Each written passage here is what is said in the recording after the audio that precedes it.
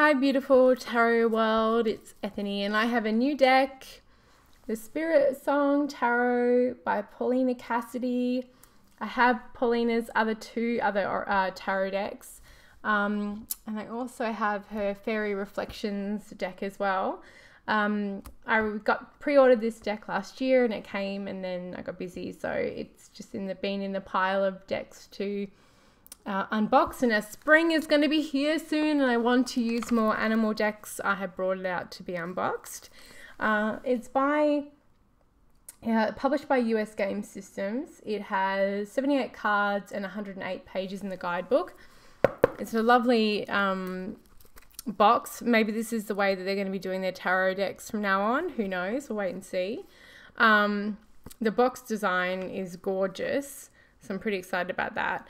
And it says on the back that the the suits have changed in this deck. They have um, acorns for wands and fire, feathers for swords and air, shells for cups and water, and crystals for coins and earth. And I've seen that in a few um, nat- natural decks um, that have done very similar things um, for changing the suits. Uh, so we're going to switch over cameras now with better lighting and uh, let's go through the deck and have a look at these beautiful cards.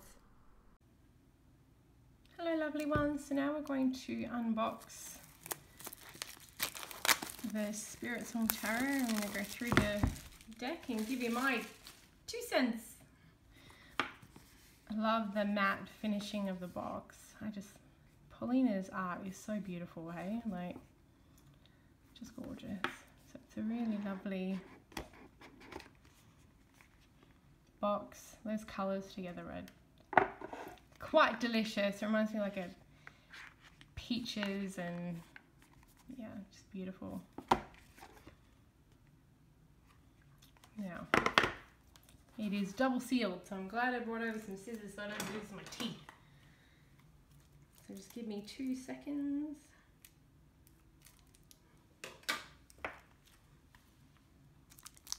I also have a hot cup of tea sitting next to me, so I don't want to do anything to knock it over, because that'd be so something that I do. Oi, oi, oi, I cry, we're all over my decks. Alright. So we have the guidebook.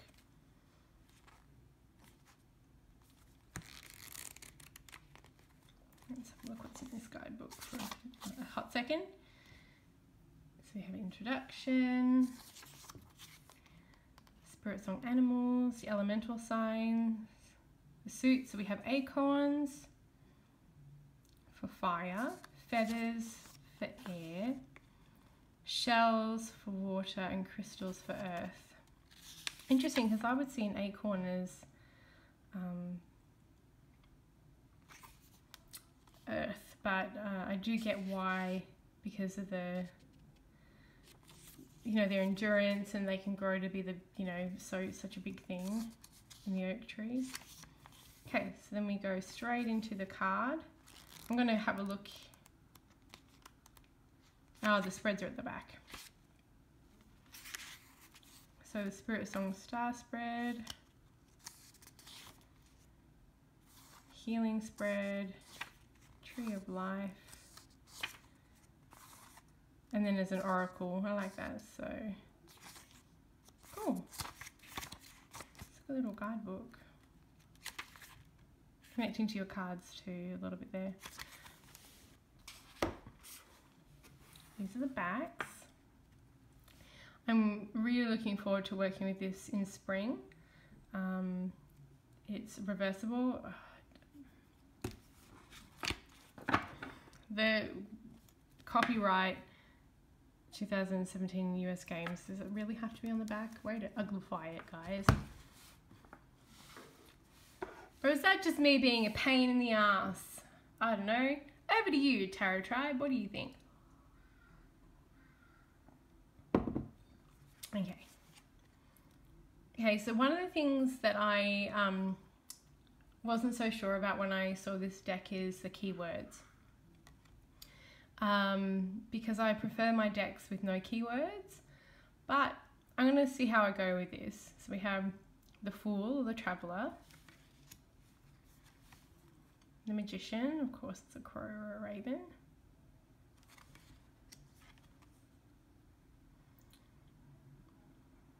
A lynx, I'd say. Her artwork is so beautiful. Like, I really love. Um, I have all of her decks actually, even her Oracle decks, and they're just simply stunning. Cougar or mountain lion. These bastards are silent too, like, you know, living here. Like, never mind the bears, you don't want to get any near a cougar because you won't see them coming. Oh, I love that. The shaman instead of the hierophant. Love instead of lovers. I think it changes a little bit. Like I get here the choice and trusting is very connected to both love and the lovers. But I like the lovers more than love because love is such a large concept that it can be it is transcendent to, to anything or any partnership or two people or seven people or whatever whereas the lovers is more of the it talks more of the sacred connection between the two the mirror between the two um, and the even if it's more than one person and the repercussion of choice and action but i still really like that but for me like i prefer the lovers the chariot, a rhino, strength. It's also interesting to think like if I did an animal deck, would I choose strength as a elephant?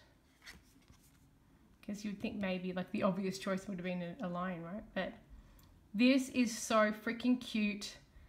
The hermit Come see the hermit, the ever stoned Australian animal that is extremely grumpy and smells. Um, they are really freaking cute. Um. I love octopi. Love, love, love. Justice.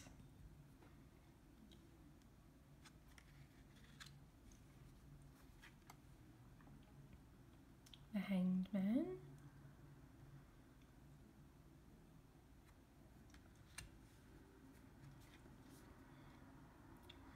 So death being transformation. I'm assuming that's a cicada, cicada, however you say it. Tomato, tomato, cicada, cicada. Let's call the whole thing a bug.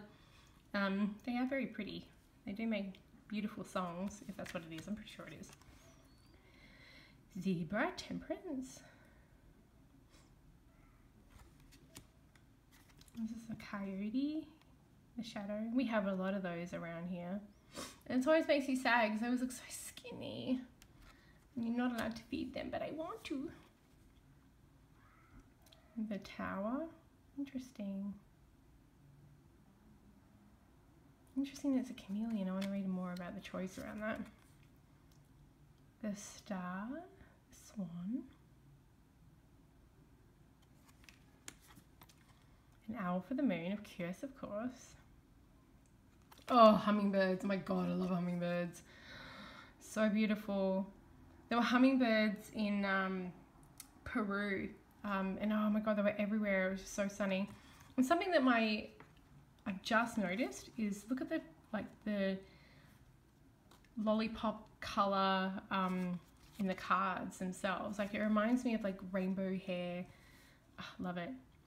Peacock Awakening. What a lovely little additional detail. The world, sperm whale. Interesting choice of whale. Wonder if there'll be any more. I love whales. Okay, Ace of Acorns, Ace of Wands the ram. It's a ram, right? Looks like Aries, that's an Aries sign to me. Okay, so what else is very cool is like you're seeing some um, animal decks like all the birds are in the feathers and I like that she's changed that up and it's not the case here. Oh, giraffe. So it looks like there's a really good mix here of The difficulty for me is like I would like to have kept the that without having that. I do like the symbol there for the what element. Um, but I can't cut that without cutting into this. It would look bad. And then if I remove that, the title, um, it would be, I'd spend more time trying to count the acorns in some of them than focusing on the reading. It would take me out of the flow. That's really cool. Five of Wands, yeah, love it. Uh, so I'm going to have to keep it.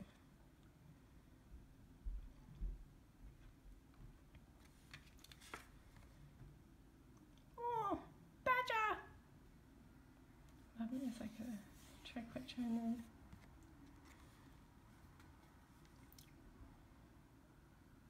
Eel.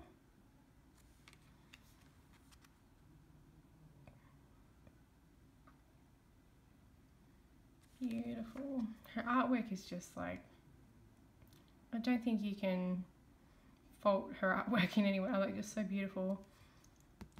Donkey burro. Oh yes, Page of Wands, totally a little monkey, right? Totally. Warthog. Makes me think of um. He's a big pig. Yep, yep. You can be a big pig too. Oi! Like, no matter no matter what, every time I see a warthog or a meerkat, I'm like, hee Lion King. um, Queen of Acorns. I know I'm not alone in that either. I'm just a bit of a silly dag. King of Acorns, horse. Ace of Shells. Right, one shell takes it with it. Right, right, right. Oh, I love birds. Or turtle doves. Yep, I get that. Bliss, playfulness. Oh, light bug. I was wondering whether little otters would come in. I love otters.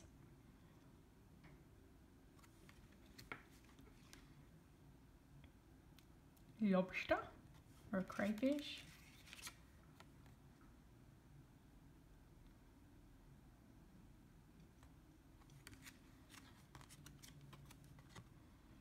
Penguin.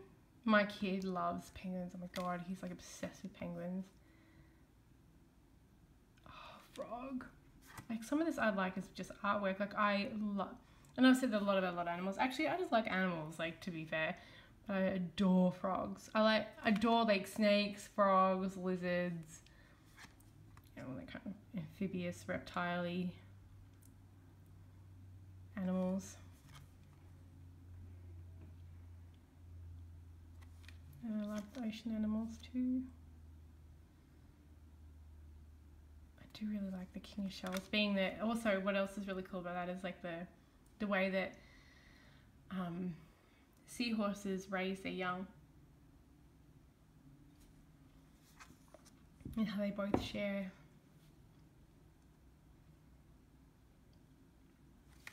Okay, so on to feathers. Gecko!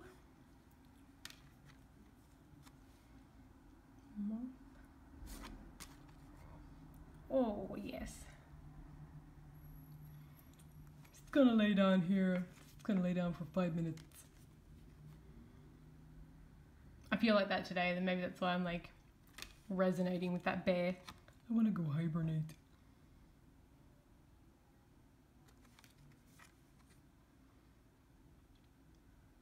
Mm. it's very positive, even like for so nine of feathers, nine of swords, which is not the most positive card in tarot reading um, in the tarot deck as it is. It's given perspective and self empowerment, and what may be great for people who really struggle with um, the more stark nature of some of the cards in more other decks. This would be a really good way to learn. I, I either learn the more positive meanings of some of the harder cards um, or to use it, um, the deck, just as a more self-empowering thing. The snake there. Oh my gosh. We had raccoons fighting outside the other night. It sounds like a banshee. I have never heard anything like it. It was terrifying. They sound like nothing I've ever heard. I'm like, there's going to be some dead animal out there in the morning because they were sound like they were killing each other. Cute but dangerous. Oh, the lion is king of feathers. The man, the male lion. Okay, earth crystals. Panda. Kangaroo. It's nice to see some Australian Australian animals. The bee, you all know how much I love the bees. Beaver, so cute. Ladybug. Every time I see a ladybug, I feel like my life has been like blessed. Ladybug blessings. Meerkats.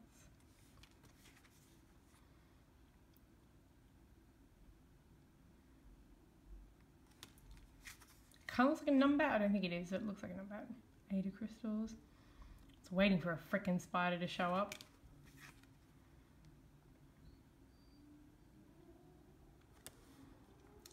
You know you have issues when you don't even like holding a card with them in there. um, tender crystals. I like that. Crocodile or alligator. I think that's a croc.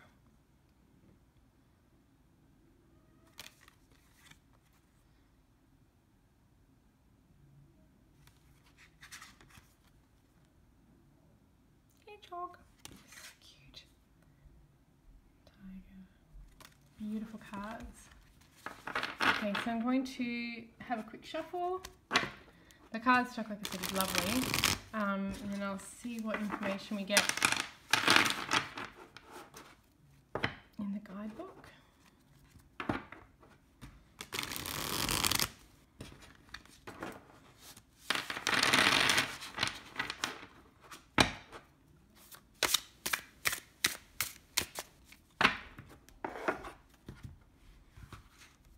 These decks tend to like glide like that pretty well. Six of crystals. It's Timon!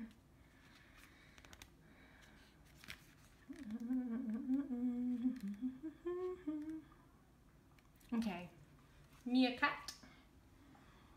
So we get a little bit of a message and then we move up to keywords, reverse meaning and reverse keywords. So it is a pretty um, basic meaning, like meaning guidebook, but that's cool. Um, like I said, I think this really more focuses on a lot more of the positive, although she does have reversals. So that's, you know, great too. But the, the, the keywords on most of these cards are more remain to be positive. I'm actually looking forward to bringing this into my working deck pile for spring as we start to get more sun and everything. So I'm very excited to work with this deck. Uh, you can get this from like Amazon or the Book Depository or the US Game Systems, um, just in case you forgot, website. Uh, and as always, thank you so much for watching.